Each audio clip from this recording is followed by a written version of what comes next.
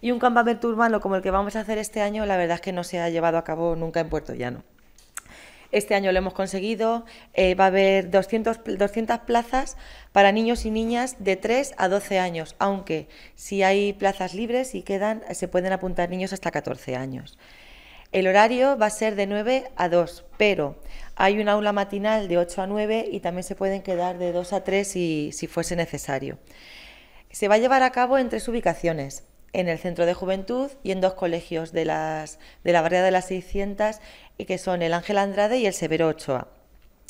Las inscripciones se pueden hacer de 9 a 2 en el centro de juventud y allí se darán todas las indicaciones pertinentes para que, para que se puedan realizar. 200 plazas se ofertan a los campamentos urbanos que abrirán sus puertas del 8 de julio al 31 de agosto en el Centro de Juventud y en los colegios Ángel Andrade y Severo Ochoa. Jesús Palomino, coordinador de los campamentos, explicó que habrá deporte, piscina, multiaventura y actividades estrella en las que se pretenden fomentar valores imprescindibles.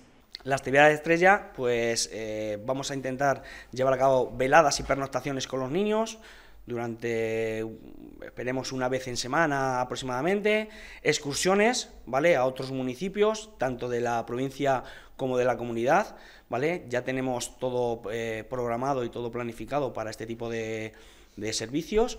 Y importante saber que también tenemos la intención de llevar a los niños fuera de lo que es el municipio de Puerto Llano para que conozcan otros sitios y, como hemos dicho anteriormente, pernocten, y eh, vivan la experiencia de estar con otros iguales pues en diferentes contextos que no sean el colegio o, o, el parque. Además, cabe destacar que será una escuela de verano inclusiva. Todas las habilidades y necesidades que tengan los niños tienen derecho a, crecer y aprender y el Ayuntamiento de Llano ha puesto todos los medios para que esto se pueda llevar a cabo. Entonces, eh, con la colaboración de la Fundación Fuente Agria, vamos a dotar de todos los medios necesarios para que esto pueda suceder. Las inscripciones están abiertas de 9 a 2 de la tarde en el Centro de Juventud para los dos turnos, del 8 al 31 de julio y del 1 al 23 de agosto. Los precios de matrícula son de 26 euros la semana, 43 la quincena, 75 el mes y 3 euros el aula matinal.